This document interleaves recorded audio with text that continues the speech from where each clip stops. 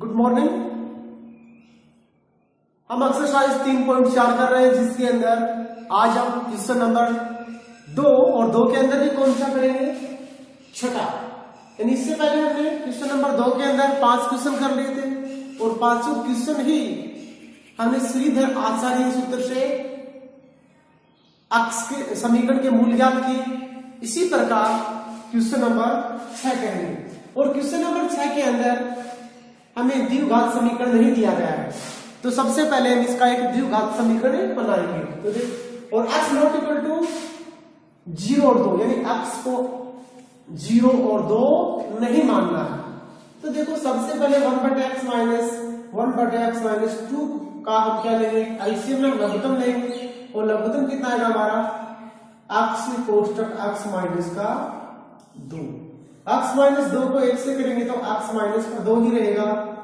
Minus x को एक से करेंगे एक्स से कम एक्स बराबर में तीन।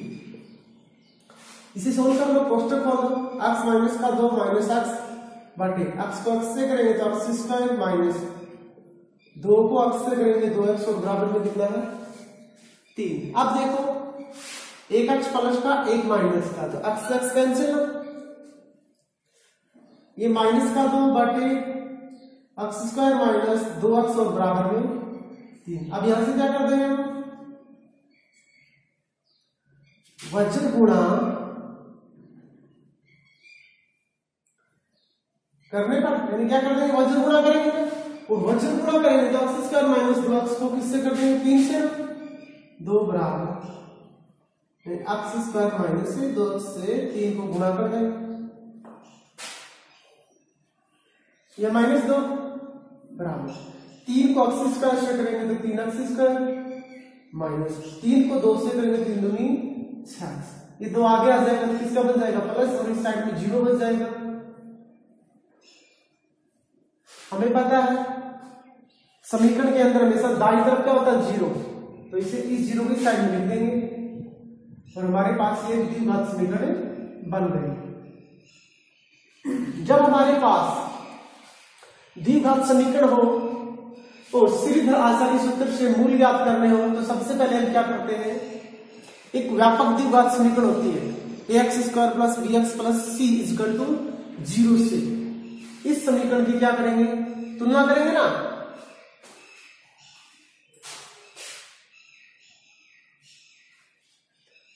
तो लिख लो।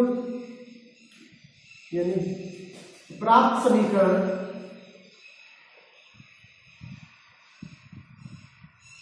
की तुलना व्यापक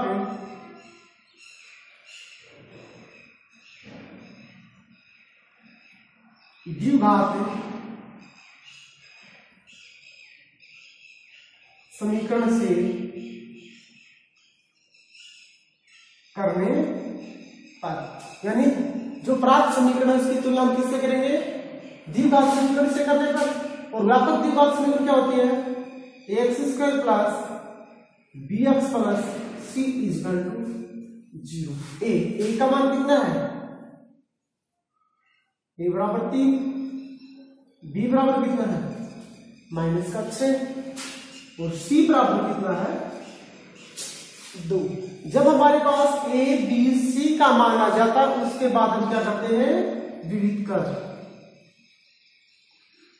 और यहाँ से हम डी का मान निकाल निकालेंगे। और डी बराबर क्या होता है?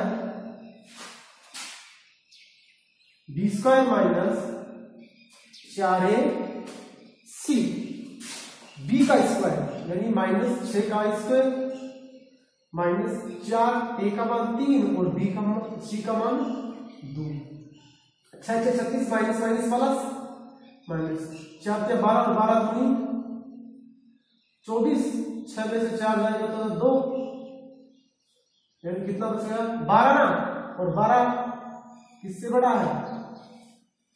ज़ीरो से बड़ा है। तो समीकरण के मूल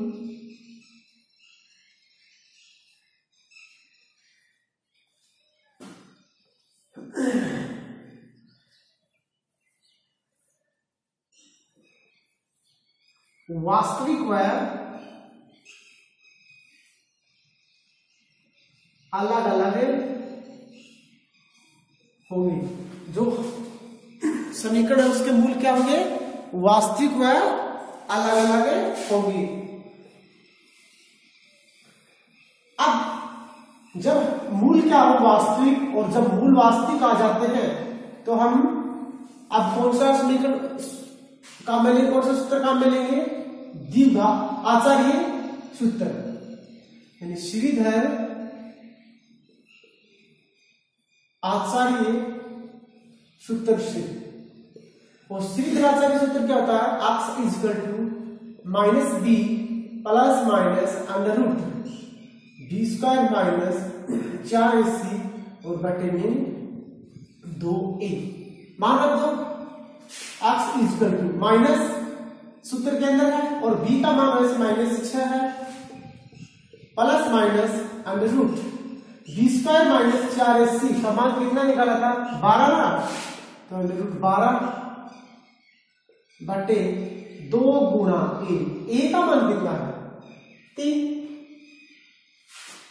देखो माइनस माइनस तो क्या हो जाएगा? प्लस और छह लिख देता हूँ प्लस का ही। प्लस माइनस अब देखो अंडर रूट बारह हम क्या लिख सकते हैं? चार गुणा तीन। नीचे वाला तीन दूनी छह। यानी इस कोष्टक के अंदर हम चार गुना तीन कर सकते हैं। अब देखो। अंडर रूट चार और अंडर रूट तीन को अलग अलग भी लिख सकते हैं। छह प्लस माइनस। और देखो, जैसे रूट बारह था, अलग करके लिखा रहा रूट बारह है। और रूट बारह को हम क्या कर सकते हैं? रूट चार गुना रूट तीन, एक ही बात है? और अंडर रूट चार का मान कितना होगा? दो। दो रूट तीन। यानी रूट बारह को हम क्या लिख सकते हैं? दो रूट तीन। तो इस चार का मान तो दो हो गया। और यहाँ बचा अंडर रूट तीन और बटे में छह और शॉर्ट कर बैठे एक्स बराबर। अब देखो, दो यहाँ है, दो यहाँ भी दोनों में से दो हमने क्या कर लिया? लघुत्तम ले लिया। सॉरी ले लिया, बाहर ले लिया। तो यहाँ तो कितना होगा? तीन। प्लस माइनस अंडर रूट तीन और बटे में कितना? छह। अब दो तीन छह। कितना बच गया? तीन प्लस माइनस अंडर रूट तीन और बटे में तीन। यानी अक्स का मान आ गया तीन प्लस माइनस अंडर रूट तीन बटे में तीन। अब यहाँ से एक बार हम प्लस का साइन लेंगे, एक बार माइनस का साइन लेंगे।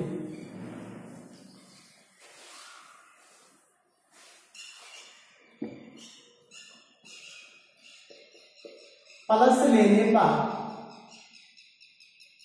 प्लस से लेने पर। यहाँ पे एक बार हम प्लस का ले लेंगे। तो एक्स बराबर तीन प्लस अंडर तीन बटे में तीन। एक बार हम माइनस ले लेंगे। माइनस लेने पर। एक्स बराबर तीन माइनस अंडर रूट तीन बटे तीन। यानी हमारे पास समीकरण के दो मूल प्राप्त हो गए अतः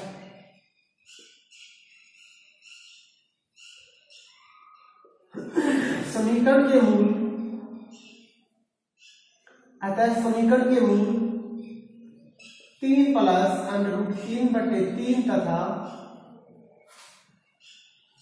तीन माइनस अंडर रूट तीन बटे तीन होंगे।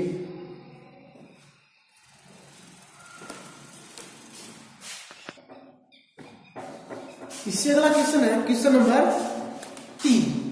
और क्वेश्चन नंबर तीन के अंदर में दिया गया है कि दो ऐसे क्रमागत विषम धनात्मक पूर्णांक याद कीजिए जिनके वर्गों का योग दो सौ नब्बे। अब देखो मानेंगे क्या? यहाँ पे विषम दिया गया। चलो यहाँ पे सम दे देता तो। तो देखो कैसे मानते हैं? सबसे पहले ना, जैसे मैं तीन टाइप से बताऊँगा। जब कर्मागत दिए गए सिर्फ़ कर्मागत दिए गए जब किसी को हमें कर्मागत मानना है जब हमें किसी को सम मानना है, या जब हमें किसी को विषम मानना है। हमें कर्मागत, सम, कर्मागत, विषम। यानी कर्म वाइज कोई भी संख्या क्रम वाइज और हमें पता है वो संख्या क्या होती है? एक, दो, तीन, चार, पाँच छ सात, दो सौ इसी प्रकार से होती है क्रम वाइज और कर्मागत सम क्या होंगे? दो, चार छ आठ, दस, और विषम क्या होगा? अब देखो, विषम तो वैसे क्या होती है? तीन, पाँच, सात, नौ, ग्यारह। अब देखो, वो मानेंगे क्या सबसे पहला तो हम अक्स मानते हैं।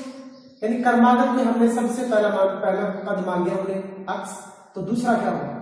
अक्स प्लस एक। तीसरा क्या होगा? अक्स प्लस दो। उसी प्रकार अक्स प्लस तीन। यानी कर्मागत के लिए। कर्मागत के लिए कंटिन्यू मान सकते हैं एक्स एक्स प्लस एक एक्स प्लस दो एक्स प्लस एक जब हमारे पास सम या विषम दिए गए हो, याद रखना, सम या विषम दिए गए हो तो पहले पद तो हम क्या मानेंगे अक्स मान लिया माना पहला पद तो हमारा क्या हो गया? अक्स दूसरा क्या होगा? एक्स प्लस दो। तीसरा क्या होगा? अक्स प्लस चार। इसी प्रकार अक्स प्लस छह। ये हम सम के लिए और विषम के लिए, दोनों के लिए मानेंगे।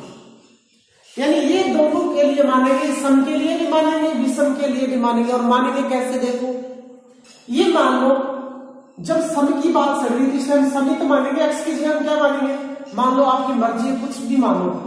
परंतु मानना वो समी है आपको क्यों? क्योंकि हम कर्मागत सम देख रहे हैं। ये मान लो आपने मान लिया। छ मान लिया। क्या मान लिया? छ ये छ हो गया। ये छ और दो, आठ हो गया। ये छह चार, दस हो गया। और ये छह छह, बारह। देखो कर्मागत आ गया अब यदि आपको विषम मानना क्या मानना विषम। विषम मानोगे तो एक्स का मान आप विषम ही तो मानोगे। जैसे आपने मान लिया पाँच। क्या मान लिया? पाँच। पाँच से दो, सात। पाँच और चार, नौ। पाँच से छह, ग्यारह। देख लो। कंटिन्यू लगातार विषम ही रहे हैं। तो याद रखना, चाहे सम हो या विषम हो, हम क्या मानेंगे? एक्स एक्स प्लस दो एक्स प्लस चार एक्स प्लस अब आप, हम आते हैं क्वेश्चन के ऊपर। हमें दिया गया है, ऐसे दो ऐसे कर्मागत विषम धनात्मक धनात्मक मतलब वो माइनस वाले नहीं होने चाहिए, वो प्लस के होने चाहिए। माइनस के नहीं होने चाहिए। पुनः ज्ञात कीजिए, जिनके वर्गों का योग कितना हो? दो सौ नब्बे। तो सबसे पहले मानते हैं। माना दो कर्मागत। सिर्फ़ दो ही मानते हैं। कर्मागत। विषम। धनात्मक यानी वो प्लस के धनात्मक है। पूर्णांक क्या होंगे एक्स तथा अगला क्या हो जाएगा? एक्स प्लस दो होंगे। अब देखो, क्या कह रहा है? जिनके वर्गों का योग, यानी दोनों के वर्गों का योग, प्रश्नानुसार।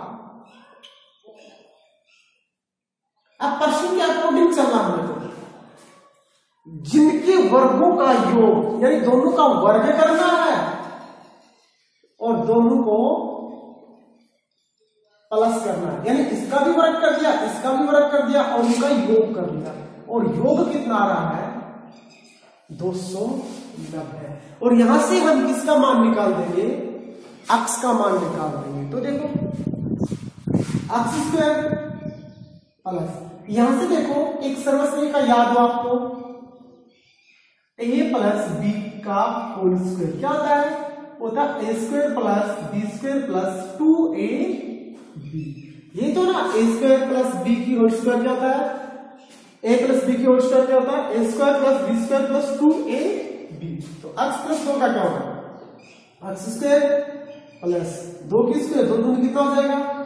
चार या पहले कर दो दो की स्क्वायर प्लस दो ए और बी बराबर में कितना दो सौ नब्बे x square plus x square plus दो दूनी चार, दो दूनी चार और अक्स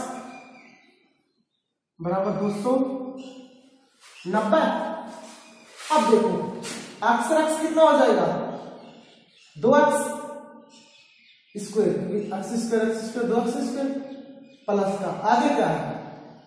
चार एक्स अब ये चार प्लस का है।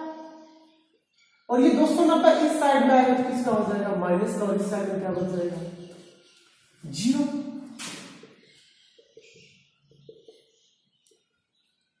अब दो एक्स स्क्वायर प्लस चार.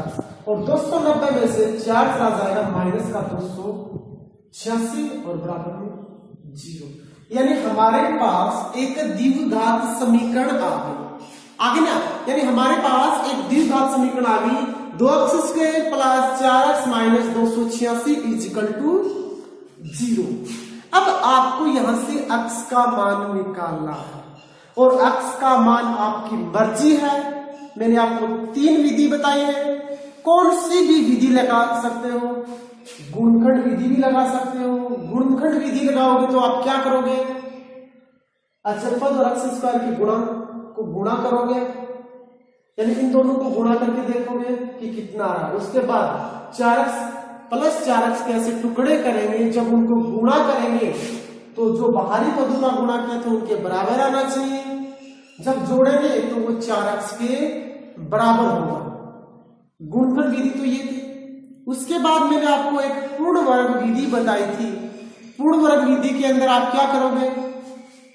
अक्ष स्क्वायर के गुणांक को क्या करोगे? इकाई करोगे। इकाई करोगे तो दो पूरे समीकरण दोनों तरफ़ दो का भाग दोगे। दो का भाग देने के बाद अक्ष के गुणांक के आधे का वर्ग को दोनों पक्षों में क्या करोगे?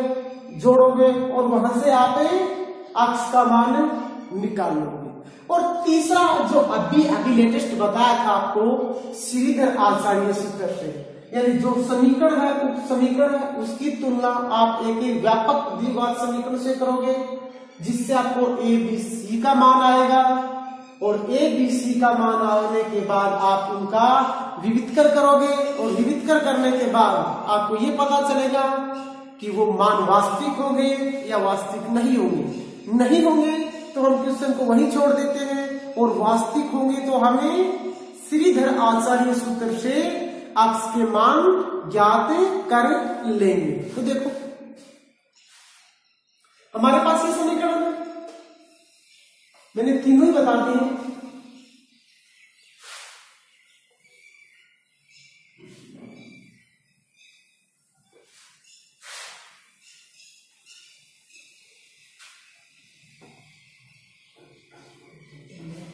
देखो, जैसे ये समीकरण है इस समीकरण दो एक्स स्क्वायर प्लस चार एक्स माइनस दो सौ छियासी और बराबर ज़ीरो। अभी अभी आप हमने याद किया था ना पिछला।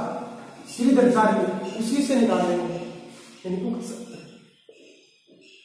उक्त समीकरण की तुलना व्यापक है। द्विघात समीकरण से करने पर, कर दो इसकी तुलना x square plus b x plus c equal to zero a का मान आ गया दो बी का मान आ गया चार और सी का मान आ गया माइनस दो सौ छियासी और यहाँ से हम क्या निकालेंगे विविध करना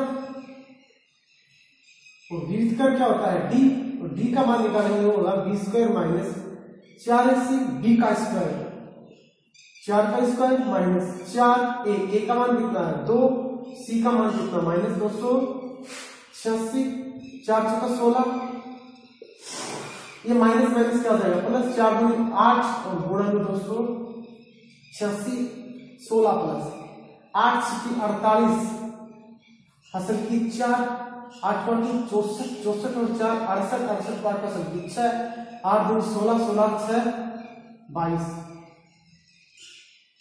बाईस अठासी। से करके देख लो कहीं गलती ना हो जाए। आठ की अड़तालीस, चार अठारह को चौसठ, चार, अड़सठ छः आठ दो सोलह सौ बाईस दो सौ अठासी और दो सौ अठासी में कितना सॉरी बाईस अठासी में सोलह जोड़ देंगे। आठ छः चौदह को चौपा सौ एक, आठ एक नौ, एक, दस तीन दो सौ एक, दो, एक, तीन, तेईस, ज़ीरो, चार। यह मान कितना गया? तेईस, ज़ीरो, चार। और वो ज़ीरो से क्या है? बड़ा। तो मान क्या होंगे? वास्तविक होंगे ना? वास्तविक व अलग अलग होंगे। मान वास्तविक व अलग अलग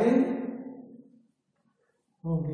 यानी मान वास्तविक व अलग अलग होंगे।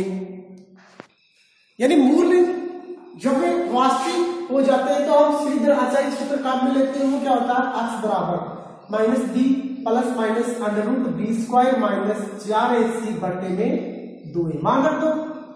माइनस बी माइनस तो सूत्र के अंदर है? बी बी का मान कितना है? चार। क्योंकि बी क्या होता है? अक्स का गुणा होता plus minus under root b square minus चार। ये क्या आता है? तेईस ज़ीरो चार में यानी बी स्क्वायर माइनस चार है सी यानी डी का मान हमारे पास आया था तेईस ज़ीरो चार। बटे दो गुणा दो, क्योंकि ए का मान कितना है? दो। और ये माइनस का आएगा क्योंकि माइनस लगा हुआ इसके। माइनस का चार प्लस माइनस तेईस ज़ीरो चार का रूट कितना होता है? अड़तालीस, यानी अड़तालीस की स्क्वायर होगी तेईस ज़ीरो चार बटे दो दूनी चार। अब एक बार प्लस का साइन लेंगे, एक बार माइनस का। जब प्लस लेंगे तो एक्स बराबर। माइनस चार प्लस अड़तालीस बटे चार। यानी अड़तालीस में चार जाएगा तो चौवालीस बटे चार यानी कितना आ गया ग्यारह एक बार क्या लेंगे माइनस माइनस लेंगे माइनस का चार माइनस का अड़तालीस बटे चार अड़तालीस और माइनस का बावन बटे चार यानी माइनस का तेरह और हम ऋण अक्स का मान ऋणात्मक नहीं लेंगे अक्ष का मान क्या नहीं लेंगे हम अक्ष का मान ऋणात्मक नहीं लेंगे बल्कि क्या लेंगे धनात्मक लेंगे और धनात्मक लेंगे तो मान कितना आएगा ग्यारह ना? अब अक्स का मान कितना गया? ग्यारह। लास्ट में लगा देना अतः अक्स बराबर ग्यारह। क्योंकि हम मूल ज्ञात नहीं कर रहे हमें अक्स का मान चाहिए था। क्यों? क्योंकि हम मूल ज्ञात नहीं कर रहे हैं यहाँ पे। यदि मूल होते तो हम दोनों बता देते। हमें तो अक्स का मान चाहिए था। और अक्स का मान हमें कितना निकाल दिया? ग्यारह। अब तो वो दो कौन कौन से होंगे? पूर्णांक। एक तो हो जाएगा ग्यारह और एक हो जाएगा ग्यारह और दो। हमने माना था तेरह। लास्ट में लिख सकते हो अतः एक धनात्मक पूर्णांक ग्यारह और क्या होगा? तेरह। एक टाइप तो ये थी, एक गुणखंड विधि से यानी हमारे पास टाइप नंबर दूसरी बता रहा हूँ इसी क्वेश्चन के अंदर। एक पहले बता दी थी मैंने, अब दूसरी बता रहा हूँ। टाइप नंबर दो। इसको कैसे करेंगे? ऐसे दो धनात्मक पूर्णांक माना। एक धनात्मक पूर्णांक विषम।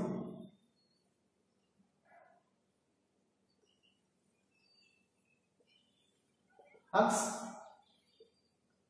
दूसरा क्या होगा अक्स प्लस दो। प्रश्नानुसार अब जल्दी जल्दी कराओ थोड़ा सा। अक्स का स्क्वायर प्लस अक्स प्लस दो का स्क्वायर बराबर में कितना आएगा? दो सौ नब्बे बता रहा है ना? दो सौ नब्बे। और हमने इसको सोल्व किया था। A square plus b square plus a two a b बराबर दो सौ नब्बे। X square x square two x square ये चार एक्स और वो इस साइड पे आएगा तो माइनस का और दो सौ छियासी बराबर ज़ीरो बाकी तो सेम का सेम वहाँ तक करेंगे। अब इससे आगे हमने उसमें कौन सी विधि काम में ली थी सीधे चालीस सूत्र अब हम यहाँ से गुणनखंड विधि से करके दिखाऊँगा आपको। कौन सी विधि से? गुणनखंड विधि से। सबसे पहले सभी में कॉमन आ रहा है कितना? दो। दो बाहर ले लो। यहाँ बचा एक्स स्क्वायर यहाँ बचा दो एक्स इसका भी आधा कर लो। एक, चार और तीन। बराबर ज़ीरो इस दो को आगे ले जाएँगे ज़ीरो भाग जाएगा, और दो ज़ीरो में दो का भाग देंगे तो ज़ीरो आएगा। एक्स स्क्वायर प्लस दो एक्स माइनस एक सौ तियालीस बराबर ज़ीरो। अब एक सौ तियालीस एक्स स्क्वायर यानी बाहरी को गुणा करेंगे, और दो एक्स को हम ऐसे टुकड़े में तोड़ेंगे जब जोड़ेंगे तो दो एक्स आएगा और गुणा करेंगे तो माइनस एक सौ तियालीस एक्स स्क्वायर तो मैंने आपको बता रखा है, अचर पद एक्स स्क्वायर के गुणांक को गुणा करना और उनका क्या निकाल लो अब भाज्य गुणनखंड ना तो एक सौ तियालीस है, एक सौ तियालीस का भाज्य गुणनखंड करो। किसका भाग जा रहा है इसमें? ग्यारह का जा रहा है ग्यारह कम ग्यारह बचा कितना तीन।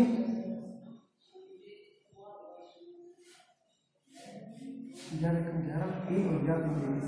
अब यानी ग्यारह गुना तेरह बराबर एक सौ तियालीस अब माइनस प्लस का तो तेरह मान लेंगे माइनस का ग्यारह मान लेंगे ना?